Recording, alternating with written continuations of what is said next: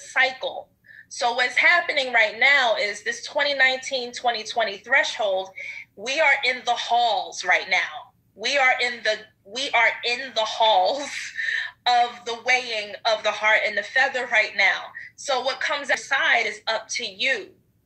So it's time to like do that work now. Everything that you need to get rid of, uh, transform, transmute, do it now because you want to come out on the other side of 20 with your heart intact, with your own heart, not a fragmented piece and not someone else's heart kind of coming in and mixing in. You have like a buddy to kind of carry around with you and deal with, you know, symbolically, not necessarily physically, but um, that's like the energies that's going now.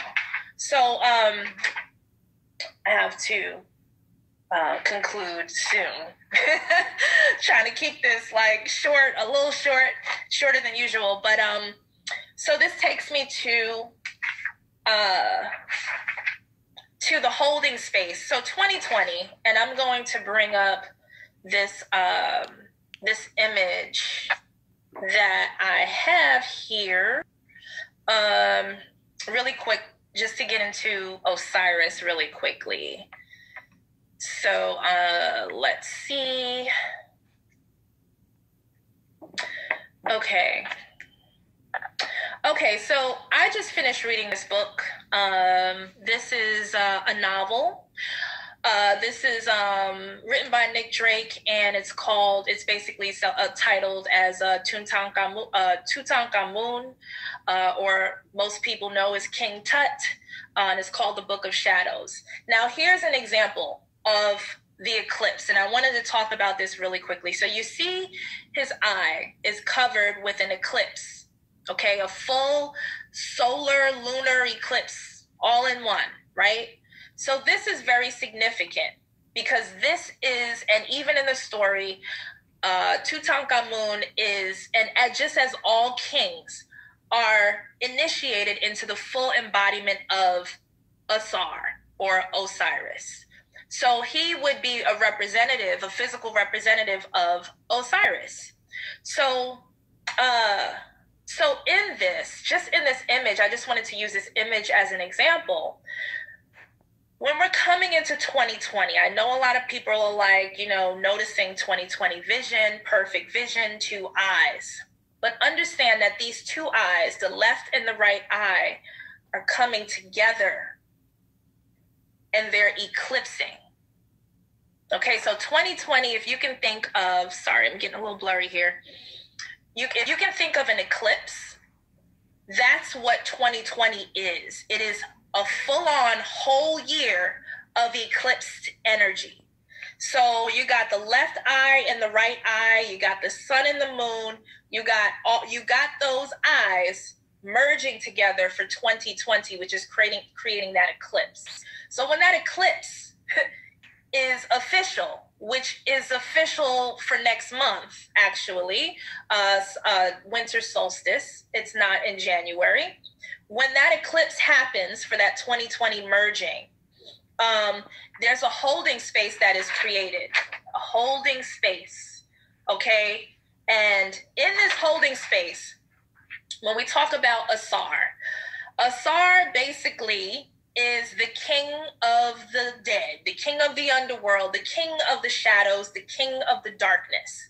Um, he governs over that other side, that that shadowy, dark, um, underworld side of things. That side, and he barely emerges. He only emerges when he needs to.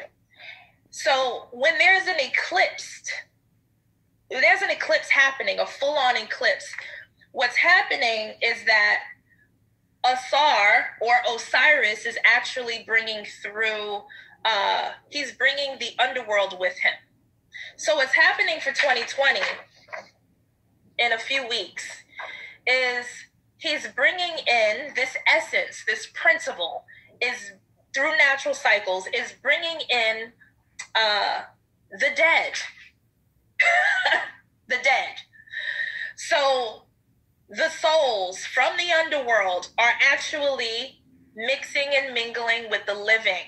where there would be barriers, usually, and I spoke about this in another video, where there would normally be barriers, there are no more barriers. So, because of the eclipse, it said that uh, in the mythologies, right, in the principle itself, it says that when there's an eclipse, the, the, the body of Osiris is merging with the soul of Ra, where he becomes one, dark and light together, and he is fully activated. So when that happens, in essence, when that happens, all shit like hits the fan.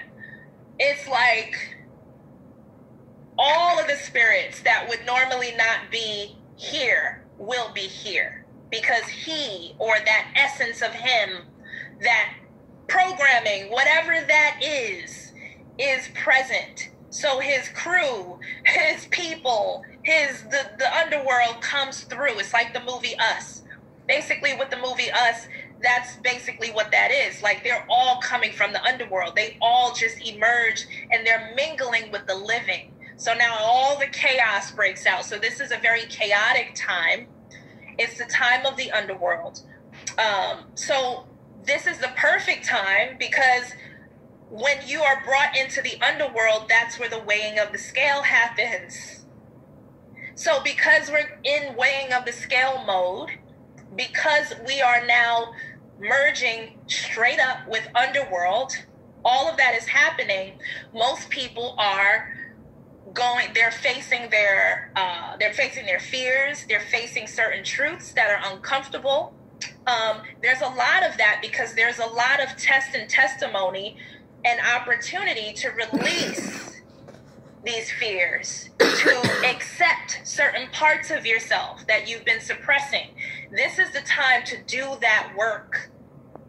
And um, so, so this is this is what this energy is representing. It's representing like all everything, the chaos. The chaos will eventually turn back into order. Now, really quickly, because my son's school bus is coming soon. um, but um, with that, um, this is where it's time to basically transform. And this is why I was saying that when we talk about the brotherhood, the Osirian brotherhood, that's that's the that's basically the Illuminati. It's the illuminated hidden knowledge because what what what Osiris represents is the hidden aspects of truth. Okay, the hidden, the hidden, the hidden. But the thing is, a lot of the Osirian knowledge and truth that is there, that dwells within the darkness, is misunderstood or used as a weapon. So, this is why the Brotherhood has taken advantage of the hidden truths, still hoarding these truths because clearly they feel it needs to be a secret. Right? So, no one really makes it past you know with them just the elite. So just like when we when we talk about back in the ancient times it was for the elite the pharaohs the queens the kings the officers the priests and so on. They were the ones who are part of this brotherhood that tapped into the knowledge of the osirian uh, truth and they kept it to themselves. This is an atlantean trait Okay, this is why I said Atlantis is back. You have all these, and male dominant, male dominant, because this is a masculine trait.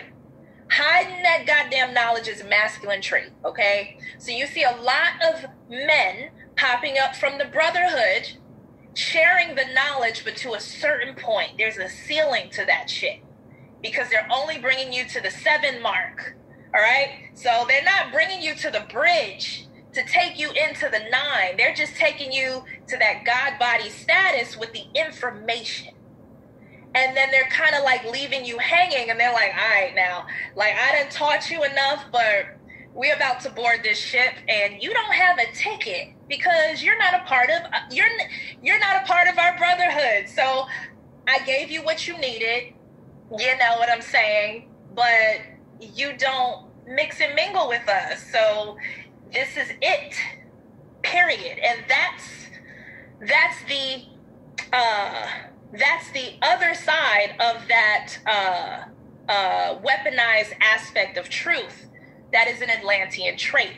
Now, not all uh, all Atlantean you know energies are into that. There are many who are coming forth who are a part of that Osirian uh, uh, brotherhood that is actually taking people across the bridge. So shout out to those men who are doing that because that's that's that's that's what that Osirian energy is because when you're leaving people hanging and you're just giving information, you're remembering, regurgitating and just saying, okay, I hope you do well with the info. Peace, I'm out to go experience the nine.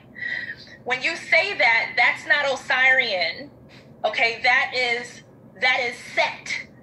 That is actually the opposing brotherhood that is using the face of Osiris to do their dirty work.